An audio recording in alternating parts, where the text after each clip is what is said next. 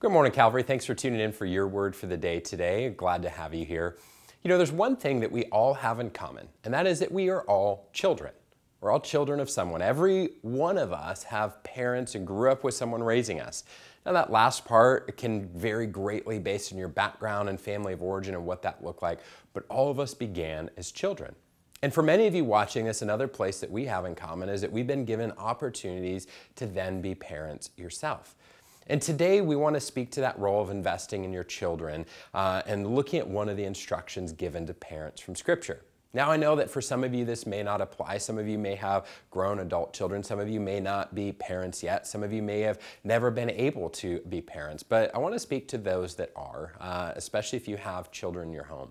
In Ephesians chapter 6, verse 4, we're told this it says, Fathers, do not provoke your children to anger, but bring them up in the discipline and instruction of the Lord.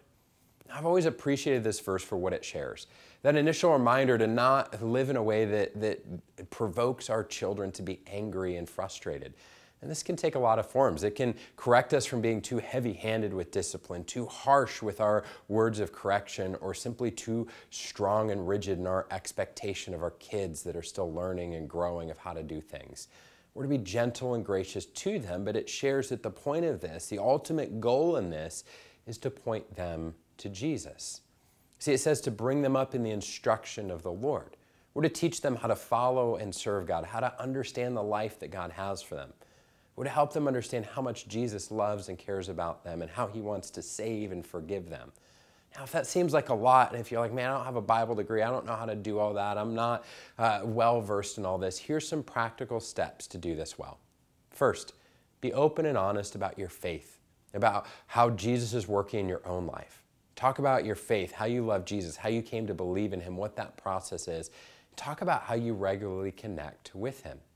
Secondly, be open and honest when you mess up and fall short of God's expectations for you. If that has to do with your children, there's incredible power in apologizing to them when that is appropriate. There's power and effectiveness of being honest about when we don't do things the way God has called us to, when we sin and fall short.